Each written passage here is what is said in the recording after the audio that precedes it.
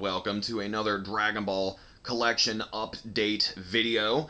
Um, thank you to everyone that has been leaving me very uh, kind, positive feedback on all of my videos. I really do appreciate it.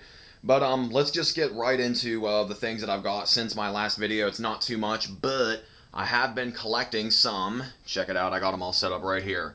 Bam! Some Fukkatsu no F, uh, Revival of F, Resurrection F, whatever you want to call it, uh, figures. I just, and I had the Vegeta one uh, in my last video. He used to be over uh, on on these Super Battle collections over here. I had to move some stuff around because I wanted to I wanted to put them all together. Like I wanted the you know the the Vegeta and the Goku and the Frieza standing in front. But the thing is, um, I couldn't I couldn't put them on uh, these Super Battle Collection boxes because, as you can see, they're kind of the boxes are kind of like uh, like thin, I guess. Um, so I moved the Great Saiyaman and Tien over here, uh, and I put them on these bigger Super Battle Collection boxes because Frieza's tail kind of makes him jut out, and he wouldn't fit on that box. But um, yeah, just check it out. Before I take them down, I just want you to check out that setup right there. It looks awesome. They, they just look so cool setting all like that, like Frieza standing in front, and then you got Goku and Vegeta. Really cool stuff. But now to actually take a look at the figures, and be really careful right here. Um, the Frieza one, oh my god, the Frieza one looks so cool. Like he's actually the last that I got. Like after I got the Vegeta, I got the Goku, and then about a week later, I got the Frieza. And the Frieza is probably my favorite uh, of the three figures. Like I didn't, I really didn't think that I, I wanted the Frieza just because I wanted all three of the the characters from the movie, the main characters. But I, I didn't think I would like it as much as I do because at first, I'm not gonna lie, I thought that you know when I heard when I first heard about Revival of F. And I heard that Frieza was, you know, getting a new form. I was really excited because I thought I was like, oh my god, what is it going to look like? What kind of crazy new form is he going to have? and then it's just his final form, but he's gold. And I was like, oh, that's kind of lame. But I, um, the figure looks pretty awesome. I really do like the gold. I don't, I don't know if you can tell very well on the camera, but like in person, it looks awesome. And, and the, the um, the purple like in in the middle and on his head is like really. It's almost, it's like a really really shiny material. It looks really really nice. I just um really really nice Frieza figure. Probably the best Frieza figure I have, which I actually now own every form of Frieza. That's another reason that I wanted it because I, I, I was like I have to own every form of Frieza. So now I have uh let's see yeah there's my first form. I think that's the only first form Frieza toy I have is that blasting figure. Those old Irwin blasting figures. And then there's second form Frieza right there. He's out of the box. Um, where's my third? Oh, uh, third form Frieza right there. He's beside the uh, blasting first form cell. Um, and then I have a few final form. Well, not his final form anymore. It's fourth form uh, Frieza right there. There's one packaged with the Super Saiyan Goku. Uh, and then I have the 100% full power Frieza right there. You can tell because he's like really buff. And then I have the Cyborg Frieza. That's what the box says. I never really knew what to call this version of Frieza. Like, some people call him Mecha Frieza. And then this says Cyborg Frieza. Like, I, I don't know. But, yeah. Every form of Frieza. Pretty awesome. And then uh, I showed off the, uh, the Vegeta figure in my last video. So I'm going to take down the Goku. Once again, I'm trying to be really careful here. Alright. So here's the Goku. Um, the Goku looks really awesome. I love his new outfit. Like I know it's not completely new; it's still the same, like you know the orange and the blue. But I like his like the belt and the new boots are really cool. I don't know why, but I really love these new like blue and black boots. Um, and uh, you know the blue hair. I really like blue. Blue's my favorite color, so I really like that kind of um, like uh, aqua sky blue, I guess. Um, really, really cool looking. I, I really love it, and uh, I really like that uh, the symbol on his shirt. Um, all three of these figures came. I, I got all the boxes out. I kept the boxes. They're really there's really nothing to see with the boxes. Like I, I showed it off before. They they all come with these um really big stands, but uh, thankfully they stand just fine on their feet. And the the stands, if I put them on the stands, they wouldn't be able to fit on that. Uh, oh, excuse me, on that box. And um, yeah, so I just let them stand on their feet. I keep the hear that rattling around in there. That's the stand. I just keep the stand in the box. Um, but yeah, really nothing to show off with the box itself. It's just pictures of the figure itself. no uh, photo shots of the movie, which is a little disappointing. Um, when I got the Battle of Gods figures, when I got Beerus and Whis, those figures, uh, the boxes that they came in actually had little screenshots of the movie on the bottom, and um, this is just kind of pretty pretty basic. Um, I don't know. I, I really miss the old Dragon Ball toys that had like like this, like the Super Battle collections. Like I I know I always I always talk about how much I love the Super Battle collections. They're my favorite figure of um, uh, favorite figure. They're my favorite line of Dragon Ball figures because I love the artwork on the boxes. I just love the way the boxes look. You have the figure itself and then a really cool uh, little piece of artwork on it. And um, these newer ones, it's just there's no artwork or anything. It's just a picture of the figure itself. So I just kind of keep these in the closet just to kind of have them, but um, I don't put them out on display because you know I already have the figure out. It would be kind of redundant to just have a box with a picture of the figure on it. So yeah. Um, but yeah, that's really that's the only thing that I've gotten uh, recently, or just these uh, revival of F figures. Um, I got these for about 35 bucks each, which I think is the going rate. They're really, really beautiful figures, though. They're made by uh, Banpresto. Um, and Crane King, I guess. I used to think Crane King meant that you could win these in those little, you know, the crane machines where you, you know, you know, you pick up the figure and you can win it. But um, I think Crane King. I, I, I was just making assumptions. I wasn't sure. Uh, but I think Crane King is just the name of a of a company. But yeah, that's that's who these figures uh, are made by. Really, really beautiful figures. Um, I consider myself more of a vintage Dragon Ball collector. I really like the old school stuff, but um, I will get some current stuff every now and then. And uh, it's just these figures are beautiful. I just they're really, really nice to look at, especially when I have them all uh, together. Um, well, now that I've uh, shown all of the new things that I've got, I have a few questions. Uh, I've, I've gotten a few questions that I will uh, I will now answer.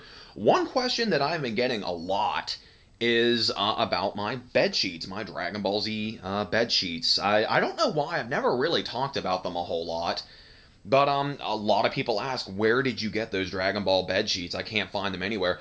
Well, it's kind of a kind of a long story, but uh, basically, when I was about 11 or 12 years old, I used to have Dragon Ball bed sheets just like this. And um, I've, I've mentioned it in previous videos, but I've moved house several times. And for those of you out there that have moved, uh, you, you might know um, you tend to lose stuff. And I've lost a lot of stuff moving. We have moved house several, several times, and I've lost a lot of Dragon Ball stuff. It really sucks. When we first moved into this apartment, I did not have nearly as much Dragon Ball stuff as I do now. When we first moved in here, my walls were pretty bare. Um, so I've worked really hard to build my collection back up over the years. I think I've done a pretty good job. But um, I was really bummed that I I don't know how when we moved I lost my Dragon Ball bed sheets. They were they were like this. They looked like this, but they were for a twin size bed because I used to have a twin size bed. I have a full size now. Um, but I somehow managed to keep the pillow sheet. This is the the pillow sheet and the little mini pillow. I, I don't think this came with the bed set. I think I bought this separately, but I got them at a Walmart. This is back in the days when you could find Dragon Ball stuff anywhere. Um, but yeah, I kept the pillow sheet and the pillow, but lost the blanket, and I was really bummed about it because I thought I don't know, I just thought it was so cool having a Dragon Ball bed just sort of ties the whole room together, you know. So for the longest time, for years, I just had a regular, I think it was a, a blue blanket just on my bed, and um, it was uh, oh my god this was several uh, five or six years ago i think now. I was on uh, ebay and i decided to type in like i i tried a bunch of different things. I tried like dragon ball blanket dragon ball um, bed sheet dragon ball uh, comforter. I tried to word it a bunch of different ways and i eventually did find this and I was really, really happy. And it took a while to find too, because sometimes this is one of those things. Sometimes you can find it, sometimes you can't. Um, but apparently, this is kind of hard to find. These Dragon Ball uh, bed sheets. This isn't. This is just a blanket. This that's all that it was. It was a blanket. It's bigger than the one that I used to have, which is nice because it covers my bed completely, which uh, looks awesome but yeah, that's that's where I got it. I got it on eBay, but it was years and years ago, and apparently it's it's kind of tough to find now. But I would just say um just kind of keep looking for it, keep intermittently seeing if you can find it, and you might come across it. You might get lucky because it took me a while too. So yeah, that's that's where uh, those are. I'm happy to have that back because I really do love the the Dragon Ball Z blanket. It looks awesome. And another thing that was asked of me, it wasn't a question, it was just kind of a, a ask, a request, if you will uh, was to look at my uh, card binder. Now, I don't want to look at like really go in depth with all these cards because I mean you can see how freaking thick this binder is. There's a ton of cards in there, and this isn't even all my Dragon Ball cards either. I have stacks of them in the closet as well. But um, when I was younger, I used to really, really be into collecting uh, cards. Um, before I, I don't know if I've ever really shown this binder off before. Uh, I've had this for a really, really long time. But uh, yeah, open it up. You got some pictures in here. That picture of Gohan and that picture of Piccolo is actually on that wall scroll. I remember when I first got that wall scroll, I was like, why does that look familiar? And I'm like, oh my god, it's the same pictures that are in my binder. But uh, thought that was cool. And then that picture of Vegeta, I think, is from um, The Return of Cooler. Uh, but yeah, just uh, I used to collect these trading cards all the time, like oh my god, like crazy. Um, I don't know how well you can see them on the camera, but uh, like I said, I don't want to.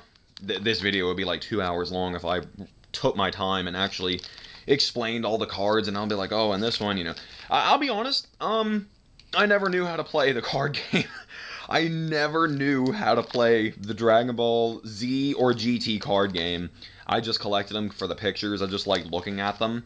Uh, yeah, I, I, I never, never. I even got a, a magazine, a Pojo magazine, explaining how to play it, and I just still never really learned how to play it. I don't know. I don't know what happened. I think I got the magazine wanting to learn how to play, but um, I don't know. I, I, think my attention span didn't uh, didn't really work out. uh, there's Android 17. Android 17 is actually one of my favorite characters. I don't know why. I just always really like Android 17. Um, I got all my GT cards up front. Look at that. I always loved this card. Um, oh, so hard to see on this stupid camera. But it's called Red Crippler, and it's um, Elder Kai putting Kibito Kai in a crossface. That's awesome, and it's called the Crippler, reference to Chris Benoit right there. That is so cool, because I'm a big wrestling fan, so I thought that was awesome. Uh, then we got some Dragon Ball Z. I don't know why I put the GT cards before the Z cards. I, I don't know what I was thinking. My OCD nowadays would not allow it. oh, some, uh, yeah, Saiyan Saga stuff. Uh, trying to look for some, like, like interesting uh, cards. This is all pretty, pretty standard stuff. Some Dragon Balls right there. Into the Namek Saga. Now, and Garlic Jr. stuff. Uh...